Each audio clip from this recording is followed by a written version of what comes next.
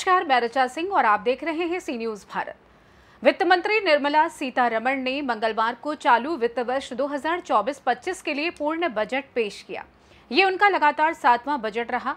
सीतारमण ने लोकसभा में बजट पेश करते हुए कहा कि भारत के लोगों ने नरेंद्र मोदी नीत सरकार में एक बार फिर विश्वास दिखाया और उसे तीसरे कार्यकाल के लिए फिर से चुना है। वहीं सीतारमण ने आगे कहा कि जहाँ वैश्विक अर्थव्यवस्था अब भी नीतिगत अनिश्चितता की चपेट में है, ऐसे में भारत की आर्थिक वृद्धि जारी है।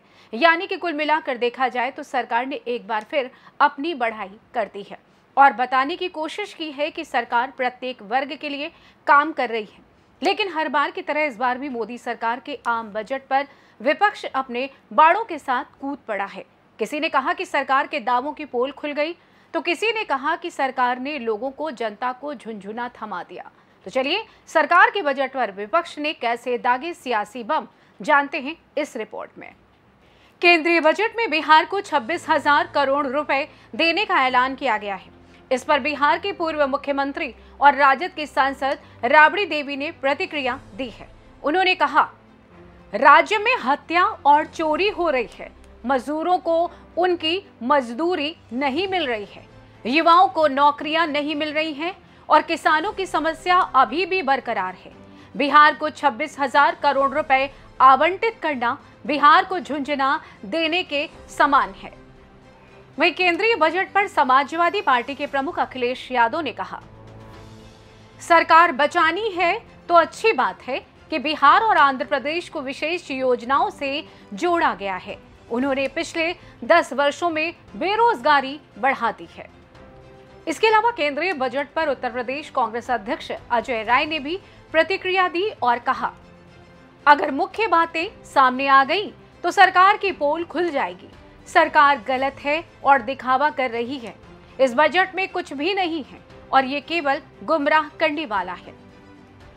बात मध्य प्रदेश की करें तो कांग्रेस अध्यक्ष जीतू पटवारी ने कहा मोदी सरकार का पुराना इतिहास बताता है कि ये दो करोड़ रोज़गार के वादे के साथ सत्ता में आई थी।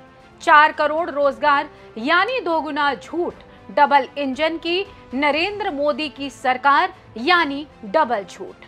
साथ ही साथ पश्चिम बंगाल के टीएमसी सांसद कीर्ति आज़ाद ने कहा, पिछले दस वर्षों से कोई उम्मीद नहीं, हम सिर्फ़ नारे सुनते रहे, आज भी जुमले ही होंगे। इस सरकार से कोई उम्मीद नहीं है। ना तो उन्हें सरकार चलानी आती है और ना ही उन्हें लोगों के दुख दर्द से कोई मतलब है। वे बोलते बहुत कुछ हैं, लेकिन किसानों के लिए उन्होंने किया क्या? किसानों के लिए तीन कानून लाए गए, जिसे वापस लेना चाहिए। इसके अलावा कांग्रेस सांसद शशि थरूर ने इस बजट को ज़बरदस्त बजट बताया। उन्होंने कहा, मैंने आम आदमी के सामने आने वाले मुद्दों के बारे में कुछ भी नहीं सुना। मनरेगा का कोई ज़िक्र नहीं किया गया। आम व्यक्ति की आय में सुधार के लिए उठाए गए कदमों का अपर्याप्त तो उल्लेख किया गया है। जब बात गंभीर आय असमानता की, की आती है तो सरकार की ओर से हमें बहुत कम देखने को मिलता है। वहीं सपा सांसद टिब्बल यादव ने प्रतिक्रिया देते हुए कहा महिलाओं की सुरक्षा को लेकर होना चाहिए था। बजट में कुछ भी नहीं है। किचन का ध्यान नहीं रखा गया है क्योंकि सरकार महँगाई के बारे में कोई कदम नहीं उठाना चाह रही है। वहीं राहुल गांधी की भी इस बजट पर प्रतिक्रिया सामने आई है। उन्होंने इस बजट को कुर्सी बचाओ करार दिया है। अब देखा जाए तो विपक्ष हर बार की तरह इस बार भी बजट को कूड़ा बता रहा है। हालाँकि भाजपा की सहयोगी पार्टियाँ इस बजट से काफ़ी खुश नज़र आ रही हैं। हालाँकि अभी कई और बड़े नेताओं की प्रतिक्रिया का इंतज़ार है, क्योंकि उनकी प्रतिक्रिया इस बजट को नई दिशा और मोड़ दे सकती है। फ़िलहाल इस खास रिपोर्ट में बस इतना ही।